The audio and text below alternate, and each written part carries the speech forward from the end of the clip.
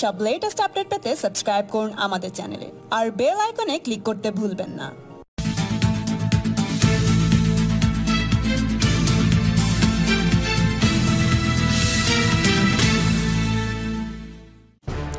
New ইয়র্কে হামলার ঘটনায় আতঙ্ক ছড়িয়ে পড়েছে প্রবাসী বাংলাদেশিদের মধ্যে।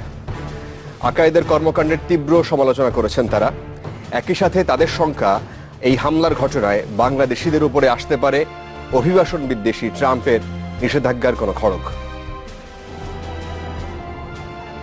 যুক্তরাষ্ট্রের নিউ ইয়র্ক শহরের অন্যতম ব্যস্ত বাস ও ট্রেন স্টেশন পোর্ট অথরিটিতে সোমবার স্থানীয় সময় সকাল সাতটা বিশ মিনিটে নিজ দেহে বোমা বিস্ফোরণের কারণে আহত হয়ে পুলিশের হেফাজতে আছে বাংলাদেশের জন্ম নেওয়া এবং বর্তমানে যুক্তরাষ্ট্রের অভিবাসী আরকাদুল্লাহ শফু।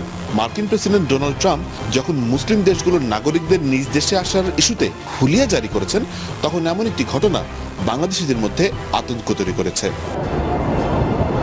প্রায় আট বছরের বেশি সময় ধরে যুক্তরাষ্ট্রে থাকেন লক্ষ্মীপুরের আরিফুর রহমান। তিনি বলেন, এমন কাজ সত্যি বাংলাদেশিদেরকে আগামীতে নানামুখী সমস্যায় ফেলবে। যে আসলে সবাই আতঙ্কের মধ্যে আছে এমনকি যারাদের কাগজপত্র এখানে নাই যারা ইলিগেল তারা বিশেষ করে তারাই বেশিরভাগ আতঙ্কের মধ্যে আছে। তো এটা আসলে আমাদের জন্য খুব একটা ব্যাড নিউজ আরিফুরের মতোই ভাবছেন সকলে। এটা আমাদের কমিউনিটির জন্য খুবই খারাপ স্পেশালি সবাই এখন খুব ভয়ে আছে। কারণ কি জন্য একটা বাঙালি কমিটিতে যখন এই ঘটনাগুলি ঘটে তখন আমাদেরকে ভয় ভীতি অনেকটাই আমাদের জায়গায় যে আমাদের কখন জানি কি হয় কখন জানি কি হবে। প্রভাব অবশ্যই পড়বে। সবার ক্ষেত্রে না পড়লেও কিছু কিছু মানুষের পড়তে পারে এটা অবশ্যই পড়বেই। এখানকার বাংলাদেশিদের মতে শুধু কাজের ক্ষেত্রে নয় এমন ঘটনা বাংলাদেশিদেরকে সব স্থানে প্রশ্নবিদ্ধ করবে। এই খারাপ লোককে আপনারা মানে যতটুকু শাস্তি দিন এগুলো আমরা মানে আপ- সমর্থন দিতে পারবে।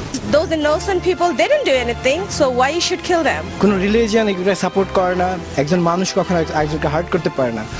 বাংলাদেশিরা জানান এখন দেখার বিষয় মার্কিন প্রেসিডেন্ট বাংলাদেশি অভিবাসীদের উপর কোন সরকারের নির্দেশনা জারি করেন কিনা। মধ্যপ্রাচ্যের নাগরিকদের মার্কিন ভ্রমণে নিষেধাজ্ঞা জারি পাশ হওয়ার পরে এমন ঘটনা সত্যি বাংলাদেশিদেরকে চিন্তায় ফেলেছে। তারা এখন ভাবছে যে আগামী দিনে তাদেরকে কত ধরনের নানামুখী জেরার সম্মুখীন হতে হয়।